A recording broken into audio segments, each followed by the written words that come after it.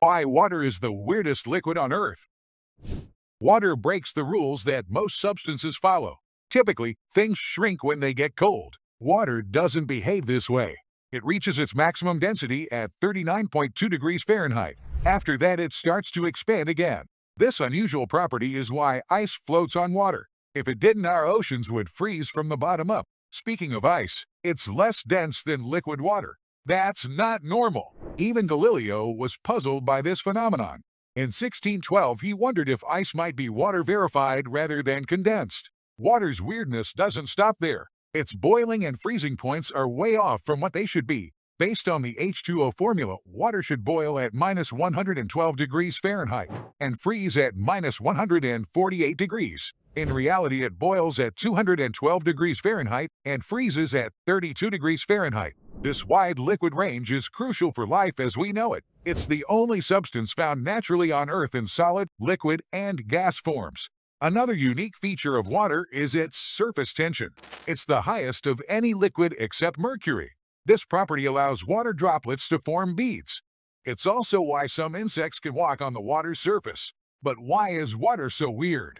It's all about molecular structure. Water molecules form strong hydrogen bonds with each other. These extensive bonds give water its sticky behavior. They also allow it to act as both a lubricant and an adhesive.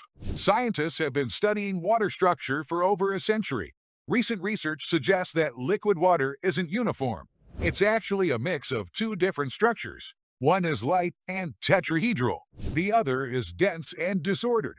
These structures are constantly shifting and changing. This dual nature might explain why water expands when cooled below 39.2 degrees Fahrenheit. Water behaves even more strangely at extreme temperatures and pressures. At very low temperatures, water enters a no-man's land state. Parent rapidly shifts between two forms. One form is high density and the other is low density. Scientists have struggled to study this for years. The changes happen too fast for normal tools to catch.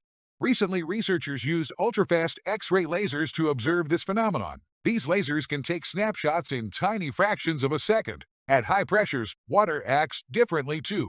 It can form unusual ice structures. Some of these ices are denser than liquid water. Others have exotic crystal structures. In some conditions, water might even become metallic. All this makes water essential for life. Its expansion when frozen helps shape our planet by breaking apart rocks. Its ability to dissolve many substances is vital for cells. It carries nutrients and removes waste. Water's high specific heat helps regulate body temperature. It also stabilizes Earth's climate. Its unusual density properties drive ocean currents. Even the way it flows through our veins is thanks to its unique properties. Researchers are still uncovering water's secrets. Some think water might play a role in consciousness. Others are studying how water's properties change in microgravity.